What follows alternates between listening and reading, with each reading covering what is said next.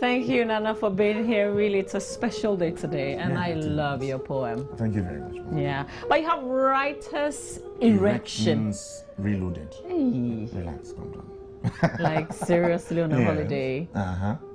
Okay, but tell us a, a bit more about it. Writer Erections Reloaded. Okay. Writer Erections Reloaded is the third in the Mental Pictures series, which is an annual night of literary readings and performances I instituted three years ago.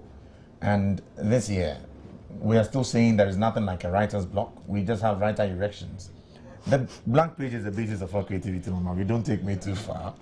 Anything that comes from the mind as a mental picture and elevates itself beyond the blank page, be it a blob of ink, the stroke of a brush, call it a protrusion, call it a structure. I choose to call it an erection. So the fact that you don't have anything to write about is in itself something to write about. Mm. Writer erections reloaded.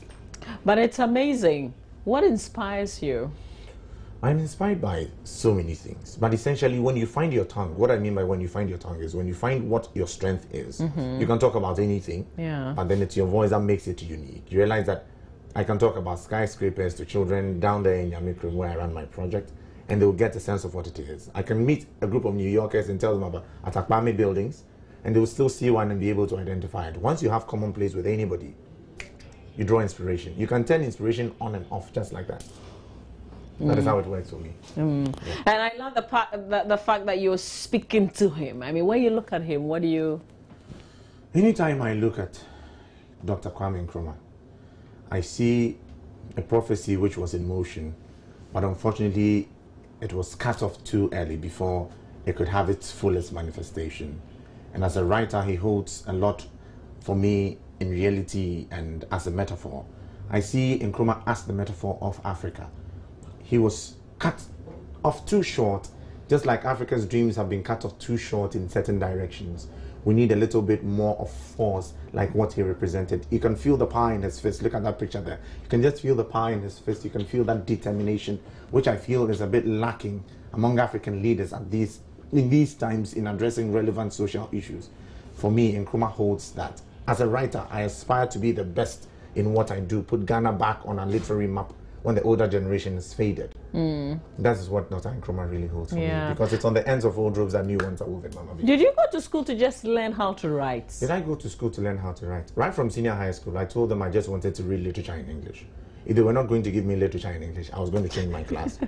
and so I went to school to read literature in English. I got to the university and I knew I wanted to be in the creative writing class. I, I knew what I wanted to do. But I didn't assume it would take on these proportions Yeah. this early in my life. But I'm so glad that Is it difficult encouraging young ones to take up writing? it is a beautiful thing to see young ones so eager to take up writing because when you start with them at an early age you realize children learn a lot at play so you're playing with them actually Mm. and then you relate to them you take the writing to them at the play level you don't go to them with all your intellectual Yeah. terminologies and all of that so it's a very encouraging process though it's a bit tedious Yeah. it's, it's very worth it when you see the smile on their faces. Yeah. I'm, I'm just wondering why writer erection? why writer erections okay so everybody is talking about the writer's block from journalists so nowadays we don't read too many good stories in the papers mm. line up all the journalists let us trigger writer erections in them and you realize there will be a different thing in the way they put out their stories mm. once the writer is short of ideas then mediocrity flies in our newsrooms there is pressure charlie give me a press release in 20 minutes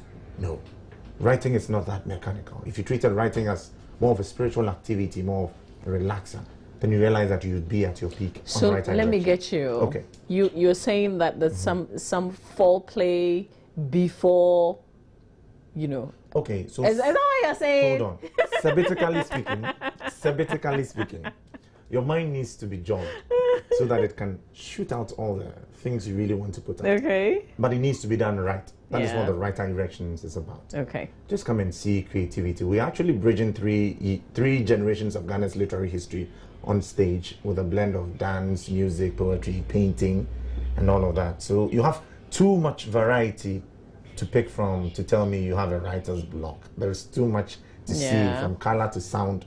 You get what I mean? Yeah. So we're just there So to when- trigger your creative sense. Yeah. When is this taking place? Tonight at the College of Physicians and Surgeons at 5 p.m.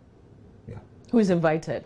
Everybody is How invited. young can they be to How be young there? can they be? Well, we do not run PG, so everybody's invited. Okay. It's a very clean show. Please Okay. Don't be, don't be deceived by, By the title. No, not at all. Okay. That's really good. Yeah. Mm, okay. So, um, uh, take something from the physicians and surgeons uh, where you're holding this event this evening. Okay. and take us away. Close my show for me. It's a beautiful holiday Monday. All right. From the physicians and surgeons, they have these great columns in there. Anytime I've walked into that space, I felt like Chala, I'm in this edifice. So let me carry you away on big mansions. Spontaneous. Okay. We walk into the embrace of time, like the columns at the gates of no return.